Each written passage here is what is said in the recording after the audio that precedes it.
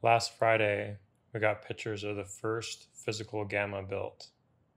So I'm going to go through the photos. I just took these from the video so we can look at them in more detail. This one, I this is the original from the video, and I just kind of lightened it up just to see if there's anything. The only thing I really noticed is that I don't believe this is a finished car just yet. Part of that thought is it seems like this is a plug. I don't know if that's maybe for lighting or if it's actually just powering that Aptera because maybe the internals aren't quite done yet. There's also no side mirrors either. So I think this is, you know, still being built out, but just enough to show the interior, which is fine. Looks really good. Nothing really else. Nothing else of interest in this image. It's a nice view of the front. I like the more subdued logo. It blends in a bit more. Better view of the front. Lights. And we finally got the nice view of the wheel covers. It looks like they have three spots that they go in. I don't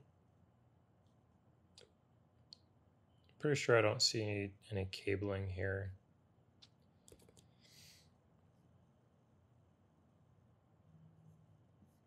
That's another reason why I think this isn't all the way complete yet.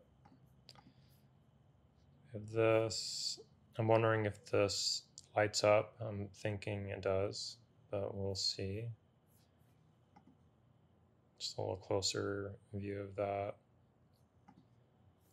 This is the hinge for the door opening.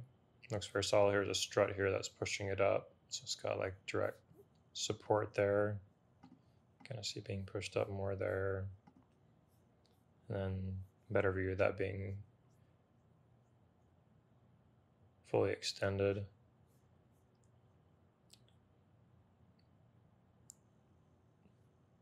And this lip here is for hip protection from side impacts. So it will be a little bit of adjustment, kind of like a race car, really. So just something to adjust to, which is fine.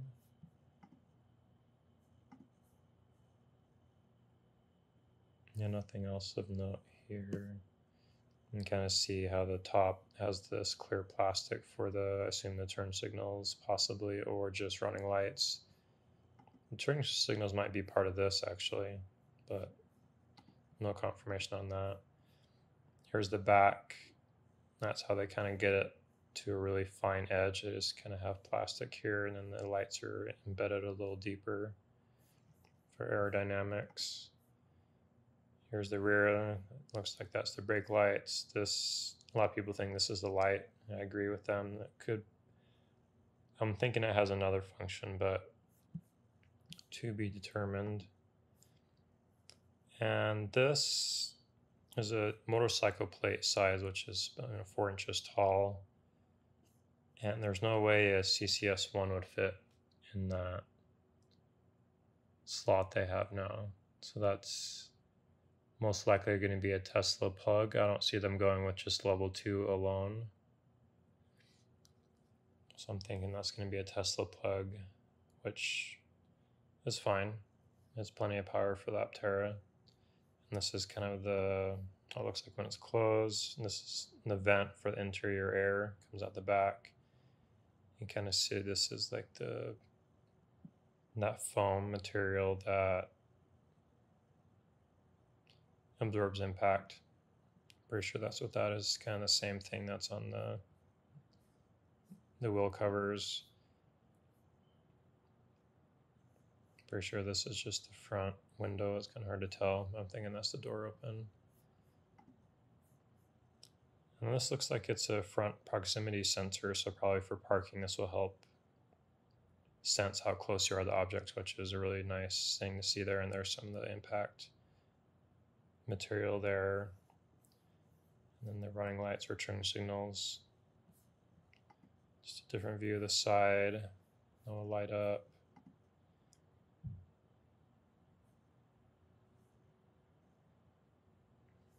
And they didn't show any of these screens on And this is seatbelt fabric. So before it was kind of like a little loop that you hold on to. It looks like this is seatbelt material now that you just kind of pull on so it will last better, I believe. And all this is pretty simplistic, which I like. You kind of see the hinge more up here.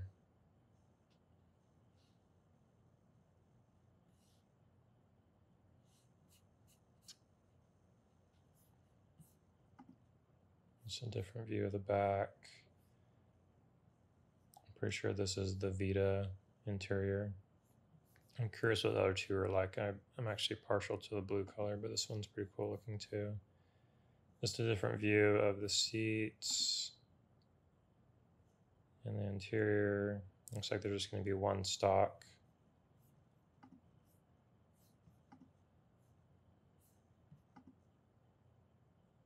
Hmm. And kind of see more how the seatbelt attaches here so you can either hold it here. It might just be really flush here, so maybe just grab it there. That might be to unlock the door. There's something to hold on to. I don't think there's going to be any storage in the door, which is why, because it would just kind of fall out when it opens. Different view of the seatbelt and seats, which look well done.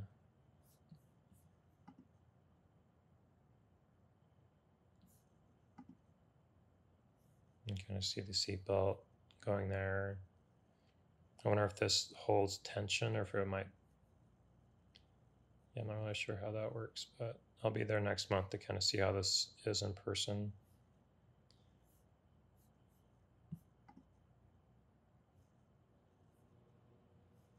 Some adjustment for steering wheel, and I noticed this is kind of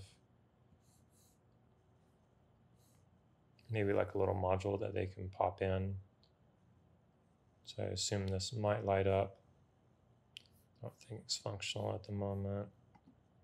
Another view of the seat.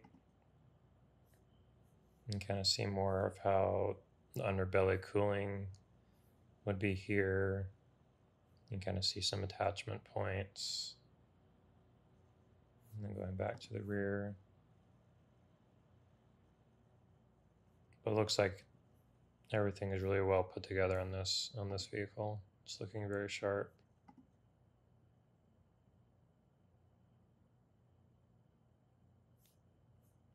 Steering wheel looks well made. I think people will get used to it, to the feel of it, as far as the design of it. You know, I'm partial. It's It'd be nice to have one color, but I can kind of get what they're going for the two tone in the front of the car so it matches. A little more obvious there, at least with this color scheme.